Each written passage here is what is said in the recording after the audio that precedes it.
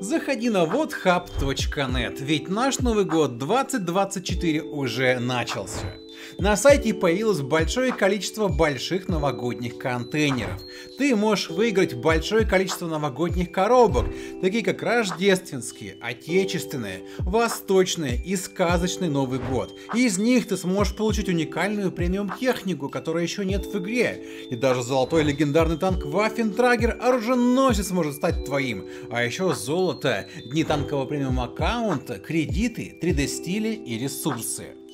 Открывай кейсы, зарабатывай билеты, принимай участие в ивенте новогоднее наступление, в котором мы разыгрываем более 500 коробок, по завершению которого ты сможешь получить те самые заветные призы в виде новогодних коробок. Не забудь про бесплатный барабан бонусов, в котором можно выиграть бесплатное открытие новогодних кейсов с новогодними коробками. Всем привет, друзья! Новый и очередной прем-танк восьмого уровня пожаловал к нам. В этот раз это американская ПТСАУ. И, как ясно из названия, XM66F, такого раньше мы не встречали, это, как обычно, некий прототип. Один из проектов.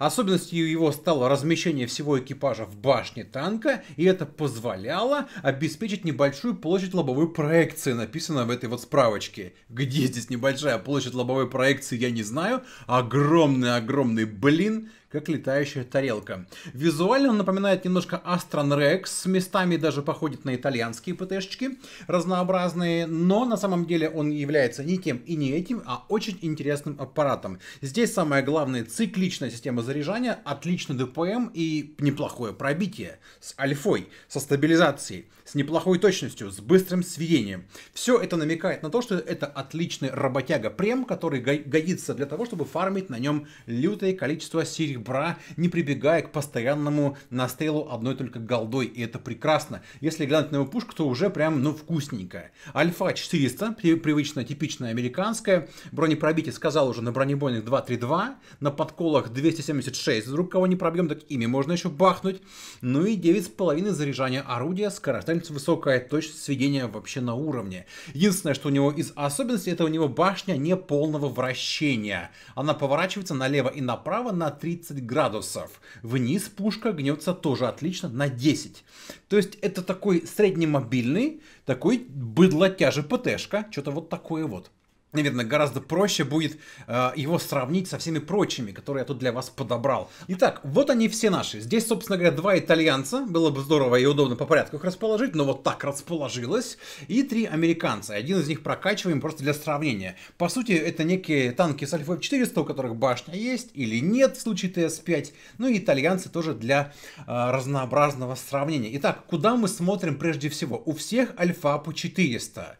По бронепробитию наш тип, ну пусть не первый, но 232 тоже сойдет. Не 248, конечно, там-то вообще было бы удобно. И ТС-5 скажет, ну типа, эй, дети, сюда. Но при всем при этом у ТС-5 хоть и большой ДПМ, урон в минуту у него самый высокий, 2900. У нашего парня получается на втором месте. То есть Т-28 прототип вообще прям уже отстает здесь.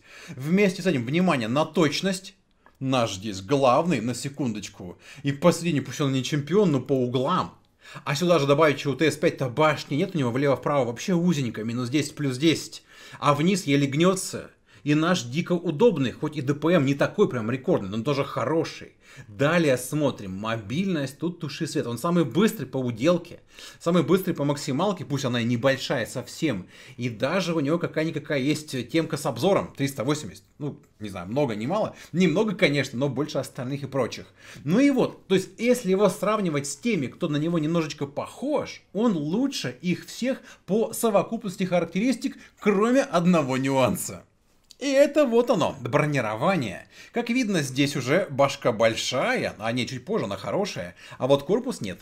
95 в верхнем бронелисте, 100 в нижнем. Даже больше, чем в верхнем. Но суть такая, проведенки там и там мало. 202 сверху, 170 снизу. Получать будем сюда почти от всех, и это нехорошо. А вот башка крепкая. Тут, собственно говоря, 260, там где-то 230, но приведенки там около 300 плюс. То есть все это пробивать необходимо прям совсем выцелить. Еще есть некоторые там супер мега тонкие области, да, ну поди их еще выцели. Но если не стрелять ему в корпус, а прятать корпус, то в башню пробивать его будет неудобно. Лючки небольшие, ну, есть, но небольшие. Еще вот такая вот есть тут штучка у него. Некий такой под триплекс, что ли, надстройка в башне. И если в левую щеку вам будут голдой пихать, будут пробивать. Все остальное башка танчит. Это прикольно. То есть с углами, со стабилизациями, со всеми делами ты выкатываешь от рельефа и не жуя ДПМом всех метелишь. То есть еще раз, у танка все в целом отлично, кроме его брони. Броня не позволяет назвать все это неким невероятным тартойзом, только премиумным за деньги. Если бы так, то вообще было бы, конечно, супер. Нет, нифига не так. Корпус приходится прятать и очень сильно. Лоб мяконький никакого там бортов брони тоже там нету, никаким ромбами не потанкуешь, там борт 50 миллиметров всего лишь. Нет, рикошеты возможны, но не так, что прям вот ты ими и будешь жить. И поэтому здесь вот как хрустик приходится, просто вот как, я не знаю, как кротик, только глаза торчат, а подбородок там, нос весь вон за какими-то препятствиями, за укрытиями. Только так можно гарантировать не получение урона. Во всех остальных случаях нас будут нормально так нещадно карать. Народ пока не подразобрался, еще в башню пробивать будут слабо, только лючки будут пытаться выцеливать, ну а те, кто потом подразберется, уже и в лоб башни в ту настройку будут нас тоже пробивать, которую я вам показывал. Грубо говоря, не забалуешь, но на нубасах можно на такие настрелы делать сумасшедшие, что, конечно, радость и праздник. Замечаем, да, какая стаба? То есть необходимо досвестись примерно 0,0 при выкате. Если башкой не поворачивать, то она прям филигранно точно кладет. Неплохая точность для американской ПТшки с альфой в 400, я вам уже показывал, и все-все-все. Ну, то есть, пробитие, конечно, могло быть бы вообще чемпионским, 248, тогда вообще это был бы просто лучший прем. Но просто вот вы сравните его и, к примеру, какой-нибудь там, ну, не дай бог, Т-34, вот что-нибудь такое из старой гвардии. Там неиграбельный кал, пятикратно переваренный, а здесь свежий, новый кал, но может быть даже и не кал. Какую оборудку сюда клеить? Здесь вариантов примерно 0. Это у нас обязательно турбина, чтобы мы не ехали 35 километров переднего и 15 заднего, а ехали хотя бы 40 вперед. У ПТ-жака нет слотика под мобильность, поэтому лучше турбину поставить боновую или трофейную. Э, слотика еще раз нет, поэтому обычную ставить смысла нету, лучше тогда вообще никакой. И третьим поставить, к примеру, закалку, потому что это быдло тяжек по сути какие-то моменты мы должны засесть и не двигаться, чтобы ну, нормально все разъехались и не попали мы в какие-то перекрестные огни, а в какие-то нужно прям ехать и быдло давить сразу же. Напоминаю вам, что это у нас тортой, только как будто бы без штанишек. У него голенькие яичишки, и поэтому постоянно нужно все, кроме головы, держать в тепле а все остальное можно на холоде. Поэтому смело вперед, и вон, если там какой-нибудь от головы с нами решает поразмениваться, пожалуйста. В размене наш ДПМ чемпион, просто ДПМ чемпион. Кому оно подойдет, если вот говорить об уровне играющих? Ну, наверное, этот танк такой среднетребовательный. То есть любой нубас справится без базара, но уж совсем прям тупить на нем не стоит корпус все-таки ну, не держит удар. Поэтому нужно чувствовать, когда можно вкатить, когда нельзя э, и так далее. И при этом всем, если уж ты вкатил, то иногда даже имеет смысл вот стоять и стрелять во врагов, нежели чем пятиться, там пытаться отыгрывать. Ну вот, короче, иногда не нужно передумывать многое, но и тупить тоже. Вот поэтому средненький. Вот, например, сейчас мы вкатили на Королевского Тигра, и он, заметьте, как ни хреново так попадает наши лючки, собственно.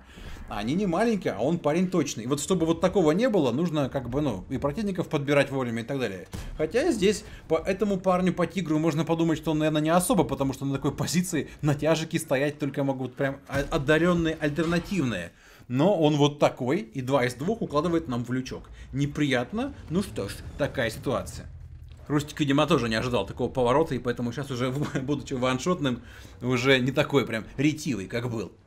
По цифрам на отметке, наша ПТшка сейчас не находится в каком-то там супер-ультра топе, но это и с другой стороны показатель, потому что в целом народ на ней играет не так уж прям и ультра хорошо. 300 на 3 отметки нужно иметь суммарочку. При том, что там тот же самый Ренегат уже, который 100 лет в игре, у него там 3300, ну и вот такие вот цифры. То есть это означает, что все-таки на ней можно много навоевывать, но не так, что прямо у всех это будет легко получаться. Потому что, еще раз, тут надо вот но это, короче, не Тортойз. На Тортойзе особо думать не нужно. Видишь одного врага, на него вперед из песни. Встал немножко ромбом, взад вперед катаешь, чтобы не выцеливали тебе лючки, и долбишь, долбишь, долбишь, долбишь. Здесь так, так же могло бы быть, но не так, потому что брони нету. И вот ты, именно дожидаясь каких-то моментов, теряешь и упускаешь. Это основная, по идее, его проблема. Ну, как бы все, а проблем остальных-то больше нет.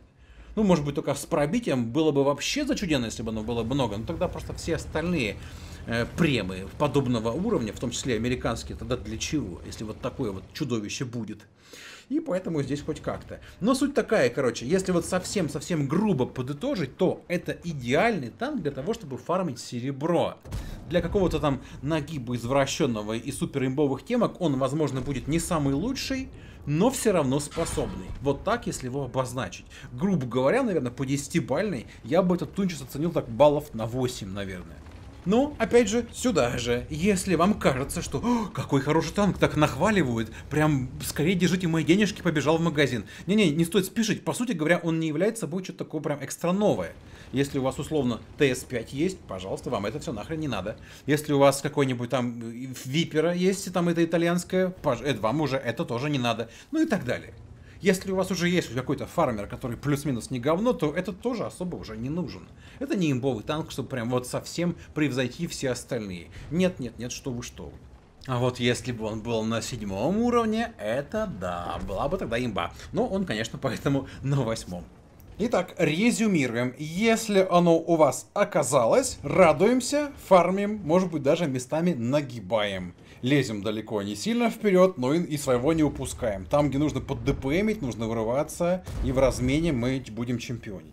Если вы встречаете такое в прицеле, и оно от рельефа ждет вас, спрятав корпус, вам необходимо разворачиваться и уползать. Если, конечно, вы не на такой же к ней хрени приехали. Там уже можно пытаться выцеливания лючков или надстройки на башне, которая находится слева от пушки, если на него смотреть спереди.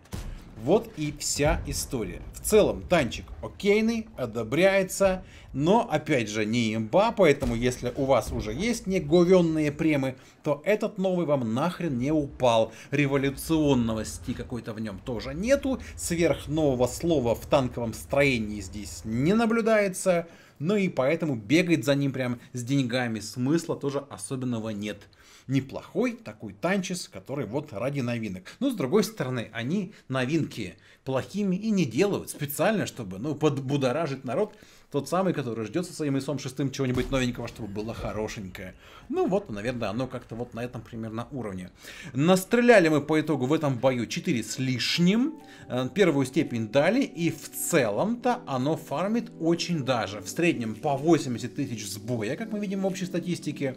Ну а в данном конкретном бою мы нафармили целых аж на 132 э, тысячи чистыми с премом, ну и плюс плюшечки. А это очень неплохо. Это все, ставьте лайк, подписывайтесь и увидимся. Пока-пока.